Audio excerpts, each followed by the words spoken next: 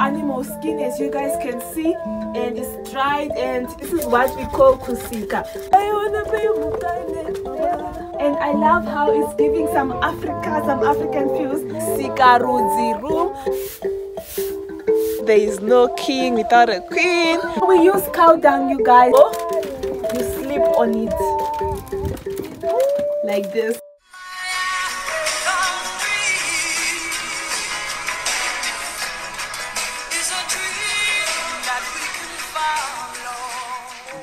Guys, welcome and welcome back to my YouTube channel. If you're here for the first time, hi, I'm Tino Sparks, your favorite African without borders, currently in Goromonzi, just 36 kilometers away from Harare, Zimbabwe. We are here at Pamusha for a cultural experience, you guys. So in today's video, I'm going to give you a tour of what a typical cultural traditional homestead looks like. So please give this video a huge thumbs up, subscribe if you haven't. We are currently on the road to 20,000 subscribers and it can only happen when you guys make it happen. Before we get into the details of this video please rate my outfit on a scale of 1 to 10 1 being the least and 10 being the best. And i know you give it a 10 out of 10 so let's get right into the video. First things first this is the chivanze and this is how it looks like. Usually our chivanze is well swept very early in the morning kutipanyatso chena and then we have some houses here. They are they are built very beautifully as you guys can see they're built out of mud and matanda which is wood and there is grass right here and it is so beautiful. So the first room that you're getting to get into is the kitchen. Let me show you the kitchen. Come along.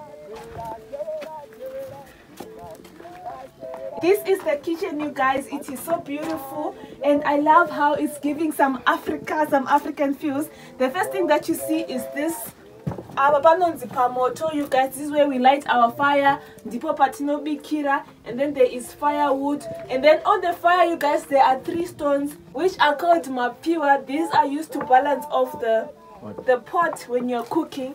And then right here you guys we have matewe. Matewe are sitting mats they are made out of animal skin as you guys can see and it's dried and it's so good it's so good. You can use it for over 10 years you guys.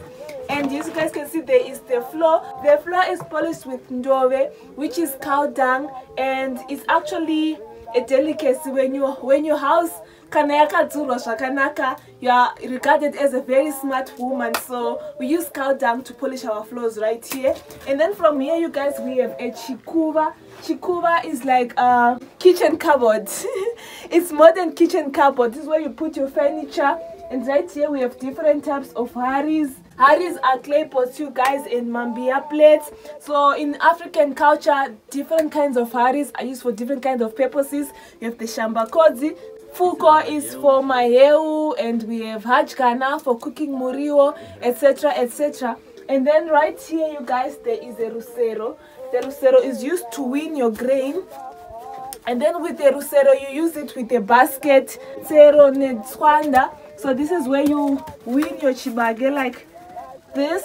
Or you this one you can also use it as a fruit basket or you can store it to store you can use it to store your groceries in here dengu. And for those people who do the market days you use the dengu to put on your head and then you put your vegetables etc etc right here you guys we have another basket with a handle called the dengu. Here there is mukombe. We use the mukombe to drink and then to drink our alcohol our water.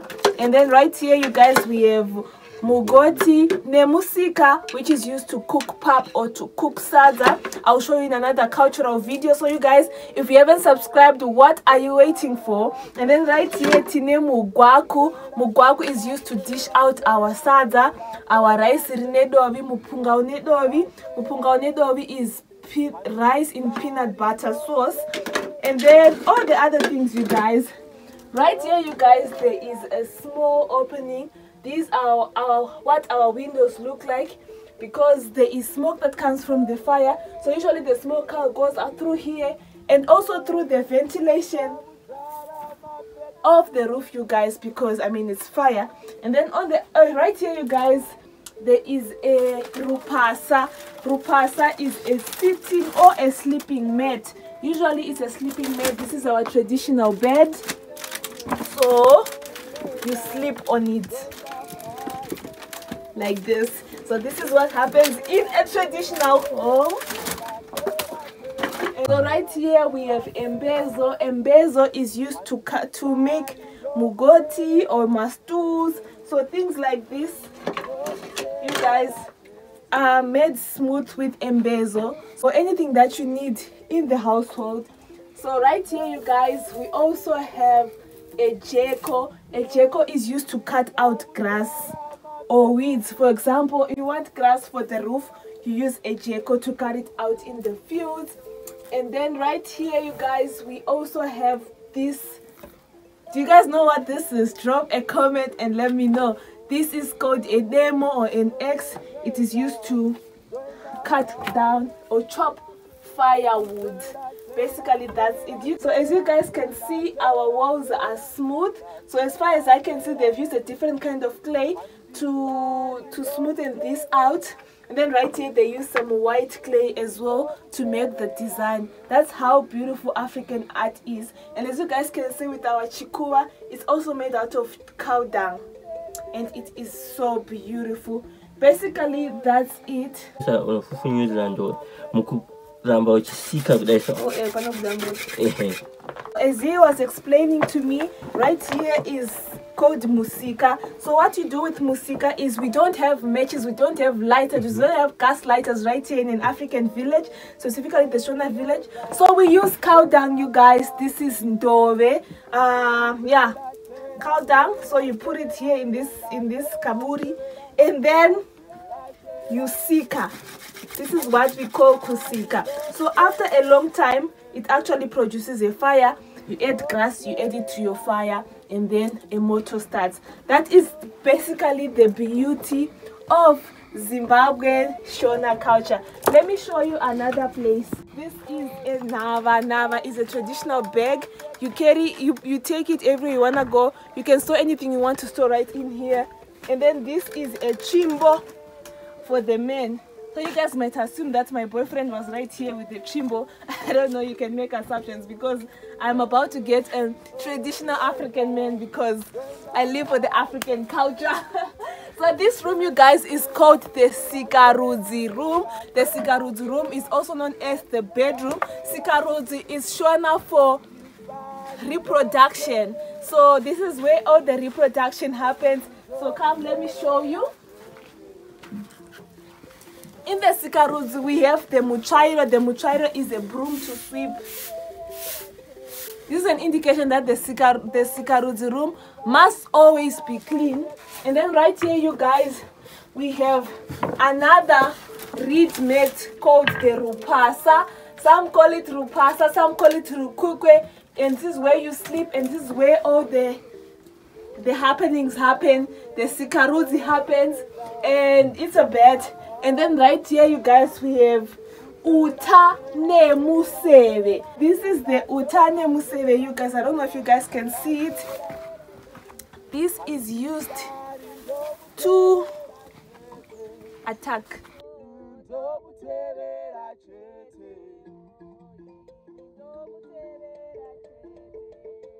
And then this is a fumo. You guys, there's something that is unique about the African culture. So our huts are made, they are round and as as, it, as they get to the roof they are in a conical shape. I think you guys can see it from the outside. So the conical shape as, as i understand the round shape means we are united we are one people.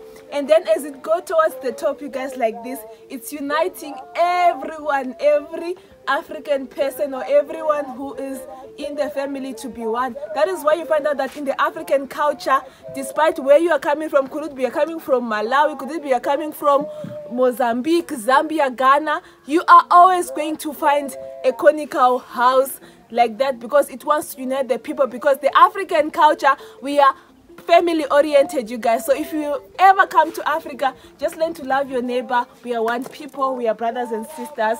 And right here you guys as you can see we have the guyo and the huyo. This is the guyo and this is the huyo. So what we do is we have grain right here. If you want to smoothen it out you guys you you use the guyo in the huyo. So the process of doing this is called kukuya. And after you do it for a very long time it produces very finer particles that you can use. So you do kukuya with grain you can do kukuya with peanut you can do kukuya with rice if you want to make a smoother kind of rice etc but yeah basically that's it. Uh moving on we also have another room right here you guys.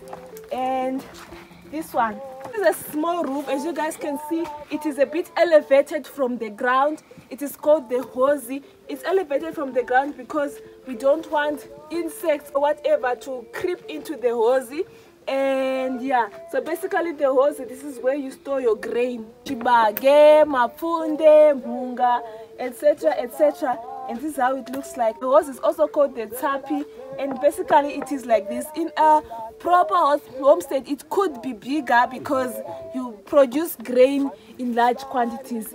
This is a duri. Usually there is a duri and a muskwi i've shown you guys in one of my videos a muskwi that's when you you pound your grain as well and basically that's it. Uh come let me show you the bathroom. So usually the bathroom is just a distance away from the homestead because you know the smells etc etc so this is where you wash in a traditional homestead it's uh, usually just a, cover, a, a shelter that is made out of poles and grass. Usually there is a cover right here and this is where you wash another time there is a toilet right here but right here we don't have a toilet. The toilet is quite a distance. But yeah you guys basically that's it. This is the chigaro chamambo. It's a seat made out of stone. In the african society the man is the king. So this is our king that's kundai chitima. And yeah he's wearing nembe and african beads and african crown called the ngundu. Uh, and chimbo chimbo is uh represents authority. Chimbo represents authority, you guys, and this is how it looks like. There is a Nava, the king's Gasambo, Kabeg, which is puts his belongings, and then the African sandals, you guys. This is beautiful, beautiful, beautiful. And as you guys already know, there is no king without a queen. But this is just content, you guys. This is just content. But basically, I have pictures of me and Kundai on our Instagrams of how uh, an African homestead looks like with a baba and a namai. Thank you. What do you think about the homestead? This is what the, an African homestead look like looks like thank you so much you guys for watching today's video hope you guys enjoyed it please give this video a huge thumbs up subscribe if you haven't uh, we are on the road to 20,000 subscribers this is Pamusha Cultural Center. So if you want to have this experience, you guys, you already know I've hooked you up with Pamuhacha. Pamuhacha can actually take you here. So this is Tino Sparks, your favorite African without borders, and I am signing out. Just.